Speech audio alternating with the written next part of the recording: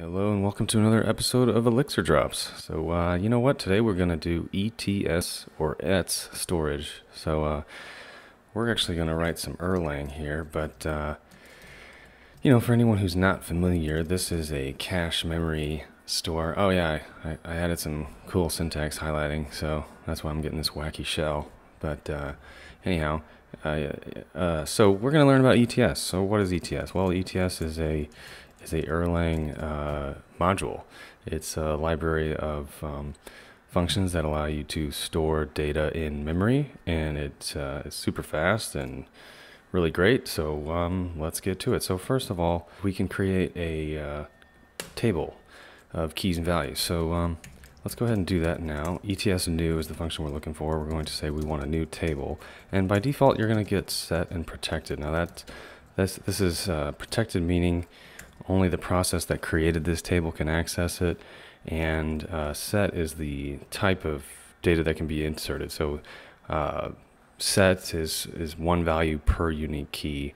Um, you can have other things like bag, and there's other different ways that you can store data. You can have um, you can allow the same key with different types of data to be added and all that. So we're going to go ahead and keep set, but uh, what I'd rather do is say make this public instead of protected and let's give it a name. So uh, a name table. Um, that way we can we can name it. So now we have a table, and actually we sort of probably added that to.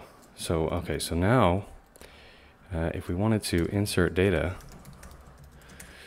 uh, we can insert. Of course, this is the name. I didn't specify that. That this this first part is the name of the actual uh, ETS table that we're creating. So uh, you know, you can just, so it takes tuples and they can be more than two part tuples. They can be two, three, four, whatever value. But here's an example where we just inserted this tuple data structure with the first argument being an atom key and the second being a string value. And we can go ahead and look up that key with lookup. And we specify the table we're looking up and the key, and there we go. Now, Elixir is going to return a list of tuples now because we're using set by default, uh, we can't have the same key in there. So if we were to insert a new value and we look it up, we're going to get that new one. It's going to overwrite. But if you were to use a different um, a different attribute for uh, your ETS table, like bag, I believe, or um, I'm forgetting the other ones, but you could have multiple keys with the same, or multiple pieces of data with the same key you know, if you'd wanted it.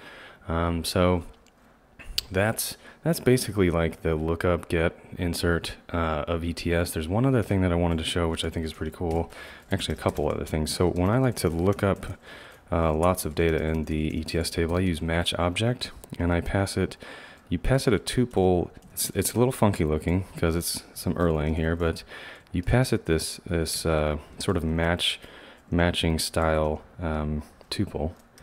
If I could talk and type at the same time, I'd be doing great. Okay, so now we're gonna get uh, the uh, any tuple that has a regular uh, has a key and a value. So if we were to um, let's say insert maybe a three-parter uh, value, right? It's not going to come back even though it's in there. And I know this because if I can say, uh, show me the info for this table and you can see that there's both those keys or both those pieces of data are in there the the two part tuple and the three part one.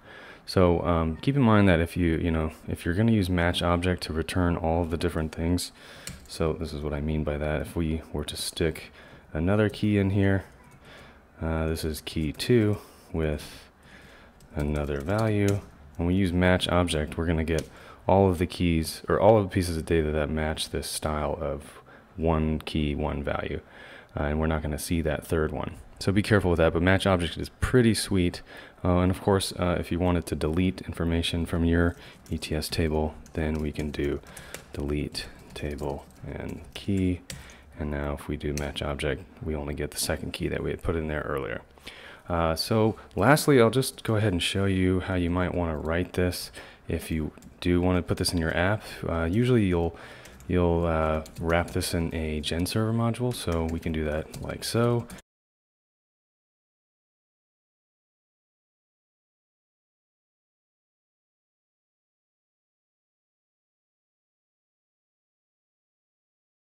We've already wrapped it in a nice little module. So if I want to insert something into our cache, uh, here we go, key value, boom. And I want to look up. And of course we didn't, we didn't, uh, whoops. So that's how you might do it in a gen server. Then you could of course have this gen server spun up by your supervisor for your app and you're well on your way with ETS cache and that's that. Hope you enjoyed that video. Thanks for watching. Bye.